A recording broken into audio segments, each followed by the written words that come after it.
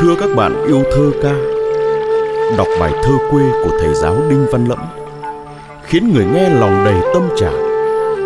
Đời người ai cũng có nơi để thương, để nhớ. Với tác giả Mấy mươi năm chở bao chuyến đò đời Phiêu dạt muôn nơi. Nay trở về thả neo nơi bến vắng quê mẹ Là nỗi nhớ mênh mang. Ôi quê hương là dòng sông mặn mòi thắm đỏ phù sa. Là dáng mẹ lam lũ như cánh vạc chênh trao Quê đây rồi, chiều cuối đông tím lạnh Le lói vài sợi nắng khi cánh cò trao nghiêng. Tất cả gợi về một đời người Một nợ lòng, tình mẹ, nghĩa cha. Vâng, bài thơ quê của nhà thơ, nhà giáo Đinh Văn Lẫm đã được nhạc sĩ trẻ Sơn ETM phổ nhạc. Tôi xin trân trọng giới thiệu tới các bạn bài hát này qua giọng hát của nữ ca sĩ Tân Nhàn. Ai cũng có một nơi nào để nhớ những tháng năm trôi dạt giữa dòng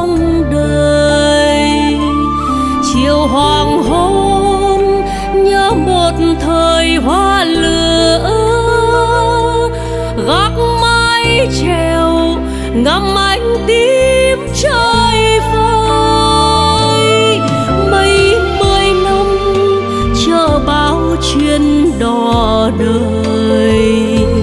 Khách qua sông tìm bến xưa quên nhớ. Thế mới biết dòng quê nhiều duyên nợ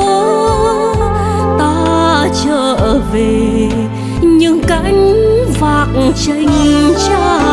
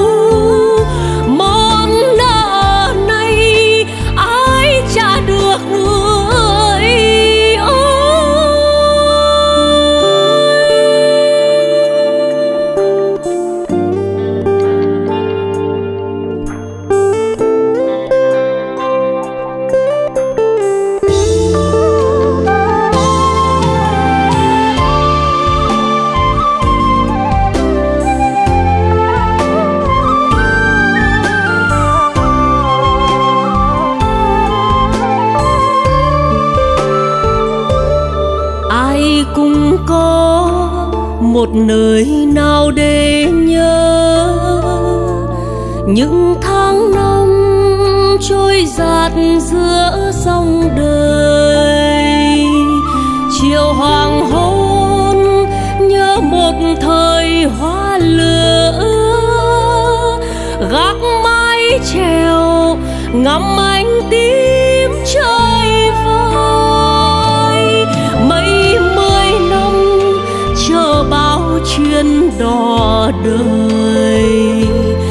khách qua sông tìm bền xưa quên nhớ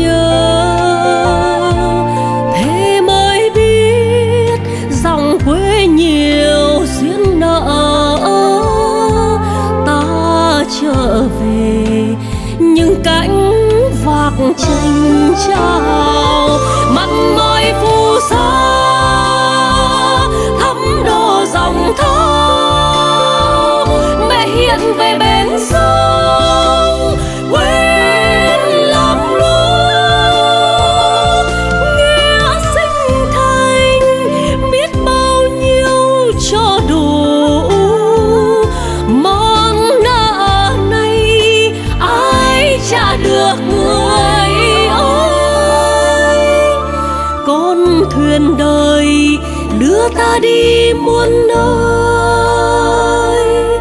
Đông tim lạnh về thả neo bên vắng cánh cò chiều vương rơi từng sợi nắng